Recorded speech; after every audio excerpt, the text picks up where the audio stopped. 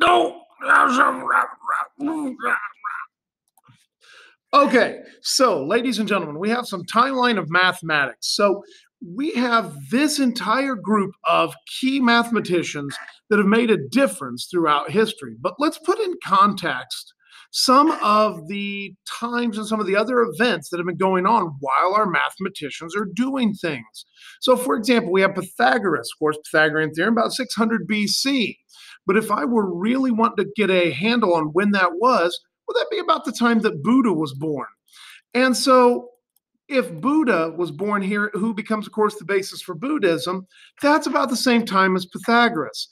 Now, if we move a little bit further forward, Plato is about the same time that we have the forming of the Acropolis there in Rome. So we have this exciting series of thought and this exciting philosophy being debated, and math becomes part of that. Now, as we move a little further forward, you notice we kind of have a gap here in the middle, but that doesn't mean nothing was happening. It just means it may be a little bit more political. So, for example, we have pi that is put together somewhere around the 260 BCs.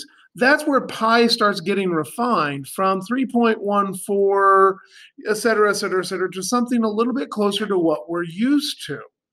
So, as we move on into this more political empty period, that's, of course, where Julius Caesar falls.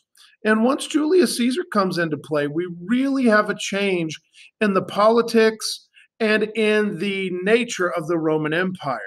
And he's going to be uh, dying about 44 BC, and that's going to last, of course, till the fall of Rome. So you have Ptolemy, you have some of these other folks that are doing various math, but as they do it, they're part of the Roman Empire till about 465 AD.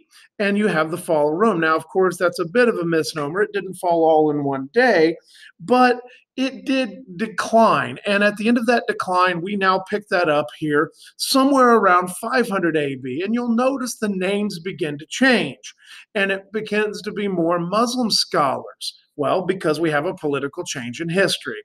So we'll pick up our story next time from there.